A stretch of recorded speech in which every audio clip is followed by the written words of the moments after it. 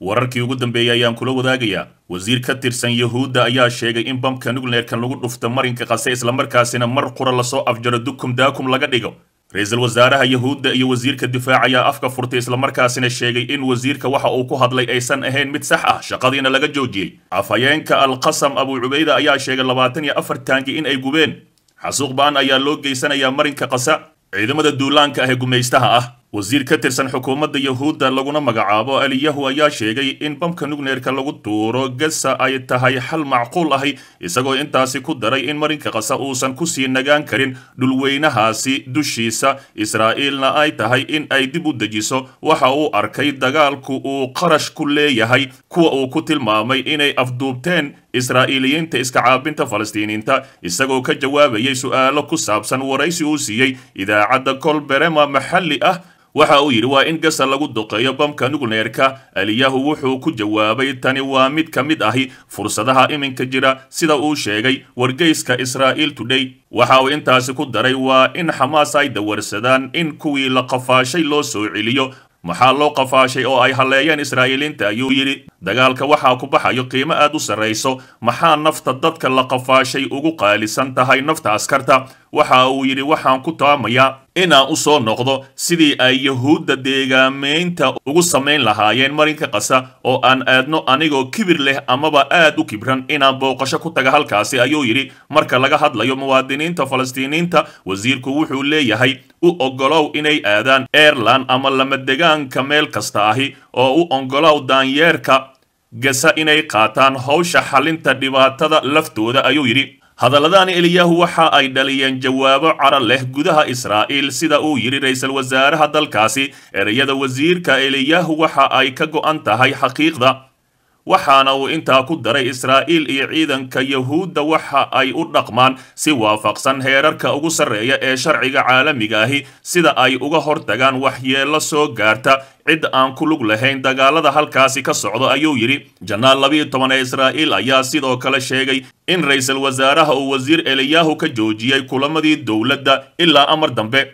Dhanka kale hogaamiyaha mucaaradka labid ayaa ku baaqay in eliyahu laga ceyriyo xukuumadda isaga oo ku sifeeyey hadal naxdin leh oo waali ah oo ka soo baxay wasiir aan mas'uul ahayn joogitaanka kooxaha xagjirka ah ee dowladda waxay ina gelinaysaa khatar weyn ayuu yidhi. Dhankiisa wasiirka difaaca galanti ayaa sidoo kale sheegay in hadalka wasiirka eliyahu ay yihiin kuwo aan mas'uul ahayn ayna wanaagsan tahay inuusan ka mid ahayn kuwa mas'uulka ka ah ammaanka yahuudda. Iyadoo ay ka jawaabayaan bayaankiisa qoysaska maxaabiista israa'iil ayaa bayaan ay soo saareen ku sheegeen inuu yahay hadal naxdin leh sida uu qoray. Wargeyska israa'iil today si kastaba ha ahaatee wasiirkani waxa uu aaminsan yahay in gebi ahaanba labada milyan ee bar ee ku nool marinka qasa in hubka nukleerka lagu dhufto dukum daakumna laga dhigo.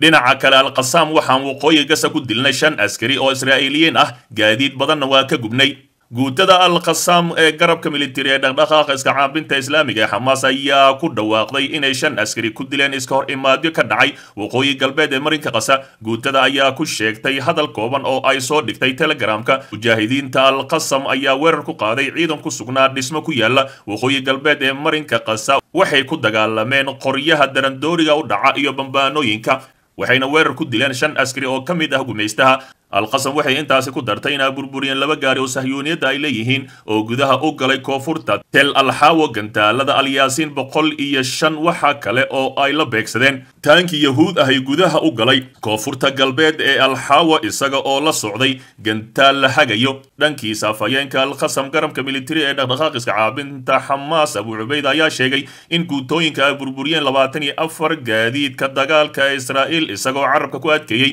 Dagaalyahanadooda waxay sii wadaan inay gadaashooda ka dambeeyaan ciidamada cadowga ahi islamarkaasina meel kasta ay ku baabi'iyaan. Abu cubayd ayaa intaa ku daray in labadii maalmood ee la soo dhaafay ay guutooyinka alqasam ay keeneen madaafiic alyaasiin ahi oo ay la beegsadaan ciidamada go'doominta ku haya marinka qasa. Mujaahidiinta waxa ay ka dagaalamayaan safafka hore ee cadowga ee waqooyi galbeed iyo koonfurta magaalada qaza ayuu yidhi afhayeenka ciidamada alqasam waxa uu sheegay in ay ku jiraan dagaal aan loo sinayn balse lagu baran doono caalamka taariikhda lagu weerari doono isagoo intaa ku daray dadkeena waxaa lagu hayaa dabargoyn joogto ahi oo ay wadaan cadowga. Fadlan dib u daaw wararkeenii hore ee calansida mediya madaxweynaha turkiga erdogan oo dhegta dhiigga u diray ra'iisul wasaaraha islamarkaasina sheegay inuu xiriirka u jarayo xisbullah oo madaafiic xooggan ku harqisay xadka ay la leedahay yuhuudda duqaymo xooggan ayaa halkaasi ka dhacay kadib hadalkii ka soo yeeray. Hogaamiyaha xisbullah xasan nasrullah aan ku horreeyay madaxweynaha turkiga rajab tayyib erdogan ayaa sabdidii ku dhawaaqay inuu jarayo xiriirka uu la leeyahay ra'iisul wasaaraha yuhuudda isagoo ka soo horjeesaday dhibaatada joogtada ee israa'iil ay ku hayso marinka khasatan iyo toddobadii oktoobar ee la soo dhaafay kadib howlgalka daadadka al aqsa ay bilaabeen iska caabinta falastiiniinta madaxweyne erdogan ayaa intaa ku daray in netanyahu uusan hadda ahayn shaksi lala hadlo maadaama uu si toos ahi mas'uul uga yahay. Waxa ka socda marinka qasa iyo xasuuqa loo geysanaya shacabkaasi wuxuuna carabka ku dhuftay inuu sidoo kale yahay shaksi ka caraysiiyey shacabka israa'iil maadaama uu taageero u fidiyey muwaadiniintiisa uuna doonayo inuu taageero u abaabulo xasuuqa uu ka geysanayo marinka qasa isagoo adeegsanayo hadalla diini ahi erdogan oo hadalkiisa sii wata ayaa sheegay in turkiga ay waajib ku tahay inay qaataan door hogaamineed oo ku saabsan joojinta dagaalka gasa isagoo ku macneeyey in tani ay noqon doonto horumar qaabeeya taariikhda hadda iyo mustaqbalka.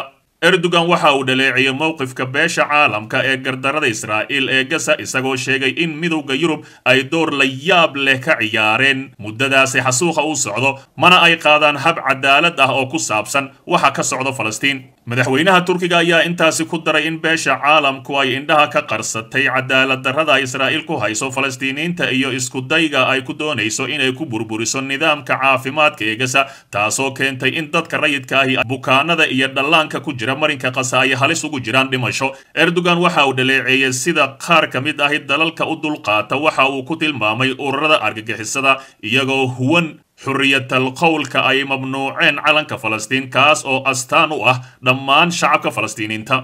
Madaxweynaha turkiga ayaa xaqiijiyey in dalkiisa uu taageersan yahay hindisayaasha gobolka uu horseedayo xasilooni iyo nabad isagoo intaa ku daray in turkiga aanu taageersaneen qorshayaasha lagu bartilmaameedsanayo nolosha falastiiniyiinta oo uu doonayo inuu ka saaro marxaladda taariikhda ahi hadalka erdogan ayaa yimid mar uu saxafiyiinta kula hadlayey diyaaradda intii uu ka soo laabtay. Gasakhistaan kadib markii uu ka qayb galay shir madaxeedka ururka dowladda turkiga ee jimcihii ka dhacay halkaasi. Dhinaca kale xisbullah ayaa ku harqisay madaafiicul culus goobaha ay xadka la leedahay yuhuudda wariyaha aljasiira ayaa soo sheegaya in xisbullah ay beegsatay saddex goobood oo ay leeyihiin ciidamada yuhuudda ee ka soo horjeeda qaybta galbeedka ee koonfurta lubnaan. Isla wariyaha ayaa tilmaamay in dagaalyahanada xisbiga ay weerar ku qaadeen goobaha aljardah dahab albustan iyo jal alam iyagoo ku hubaysan hubka noocyadooda kala duwan. Diyaaradaha dagaalka ee israa'iil ayaa weerar ku qaaday agagaarka magaalada labone madaafiicda yuhuudda ayaa sidoo kale duqeeyey agagaarka magaalooyinka lubnaan ee xuduudda israa'iil taasoo sababtay in dab uu ka kaco. Kaymaha ku hareeraysan magaalooyinkaasi afhayeen u hadlay militariga yuhuudda ayaa sheegay in ciidamada militariga ay burburiyeen goob ay kooxda xisbullah ku indha-indhaynayeen dhulka lubnaan. Afhayeenka militariga ayaa intaa ku daray in ciidamada yuhuudda ay duqeeyeen laba unug oo hubaysan oo isku dayay inay gantaalaha lidka taangiyada ka soo ridaan lubnaan isagoo ku macneeyey in aanay wax khasaare ah geysan maalin un kadib dhaqdhaqaaqa iska caabinta islaamiga xamaas iyo kooxaha falastiiniyiinta ay bilaabeen iska caabinta howlgalka daadadka alaaqsa toddobadii oktoobar xisbullah waxay bilaabeen inay duqeeyaan goobaha yahuudda ee koonfurta lubnaan ka hor inta aysan kooxaha falastiiniyiinta oo ay ku jiraan xamaas ka qayb qaadan bilaabista gantaalada iyo howlgallada soo gelitaanka lubnaan dhanka yahuudda. Israa'iil waxay kaga jawaabtay duqaynta dhinaca xuduudda ah iyada oo bartilmaameysatay sida ay sheegeen ciidamada yahuudda goobaha iyo kaabayaasha xisbullah. Dhegaystow ogow haddaadan xalka qayb ka noqon waxaad qayb ka tahay dhibaatada dalka